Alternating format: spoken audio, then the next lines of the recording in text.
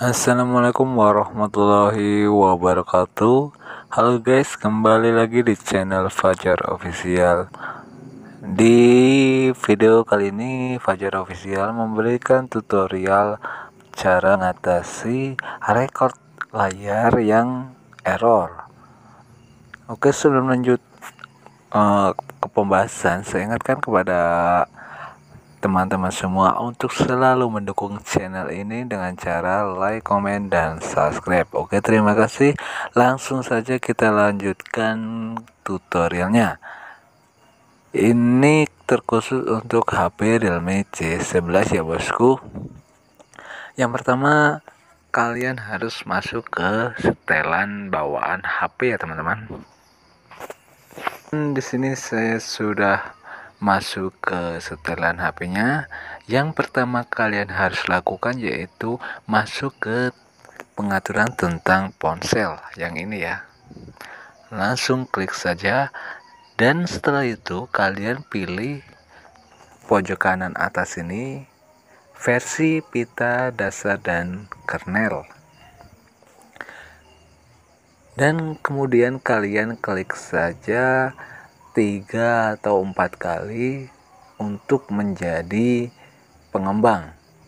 Kita coba. Dan karena saya sudah menjadi pengembang jadi tidak perlu saya mengklik lagi ya. Setelah itu kalian masuk saja ke pengaturan tambahan. Sudah. Jika sudah masuk teman-teman uh, pilih saja opsi developer yang ini ya. Oke setelah itu scroll ke bawah. Cari ukuran buffer pencatat log yang ini. Dan di sini masih terletak pada 256k ya kalian ganti dengan 64k Oke, jika sudah, setelah itu kalian scroll lagi ke bawah, cari skala animasi jendela. Di sini kalian nonaktifkan saja animasinya. Kemudian skala animasi transisi kalian juga matikan. Dan skala durasi animator kalian matikan juga ya. Setelah itu kalian scroll lagi ke bawah.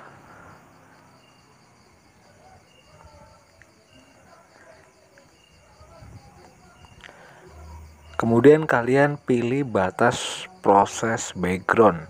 Klik saja. Nah, di sini uh, masih terletak pada tanpa proses latar belakang. Kalian pilih saja yang batas standar.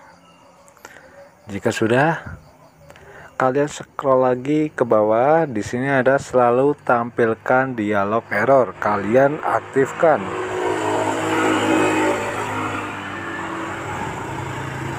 dan di bawahnya ada tampilan ANR background kalian juga aktifkan kemudian tampilkan peringatan channel notifikasi kalian aktifkan saja Di sini kemudian ada paksa izinkan aplikasi di eksternal. Kalian aktifkan saja ya.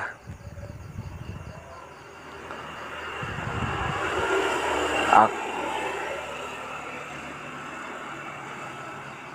Kemudian paksa aktivasi agar ukurannya dapat diubah. Kalian aktifkan lagi. Dan di bawahnya lagi ada aktivasi jendela berformat bebas. Kalian silakan aktifkan juga ya. Nah sudah selesai. Kemudian kalian uh, restart ulang HP kalian agar pengaturan ini bisa diterapkan. Oke sekian tutorial dari saya semoga berhasil dan jangan lupa untuk like, komen, dan subscribe. Tinggalkan kritik dan saran melalui kolom komentar di bawah ya agar channel ini selalu memberikan tutorial-tutorial terbaik lainnya. Terima kasih. Wassalamualaikum warahmatullahi wabarakatuh.